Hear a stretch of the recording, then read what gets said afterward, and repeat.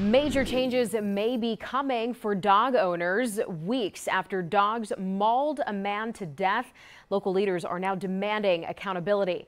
Fox San Antonio's Amanda Henderson explains why dog attack survivors say it might not be enough.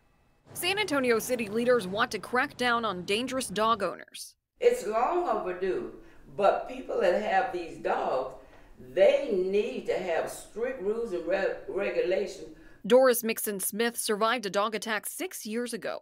She lost part of her arm and suffered facial injuries. And when I looked up, here come this dog after me, and I hollered, God, please help. Next thing I woke, next time I woke up, it was seven days later.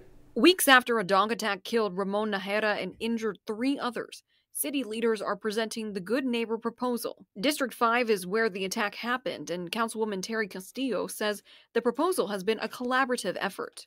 Moving with urgency around this issue is important for a number of reasons. If passed, areas with a large number of 911, 311, and non emergency calls will be addressed. Owners could be cited criminally in certain situations. ACS is also working with municipal courts to resolve dangerous dog cases reading of the proposed ordinance is that the city of San Antonio would be operating within state law.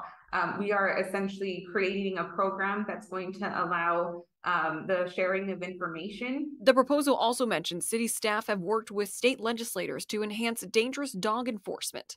One of those is authored by State Senator Jose Menendez. The ordinance would lock up dangerous dogs and give protection to those who file paperwork. In this particular case, um, people have received threats from the people involved. And so uh, we don't want people to not report because they fear for their lives. Or Mixon Smith says she'd like to hear more on how the proposal will be enforced. Until then, she will be there for anyone impacted by a dog attack. I'd have been ready for me to go. Then I would have gone. He had a purpose to leave me here.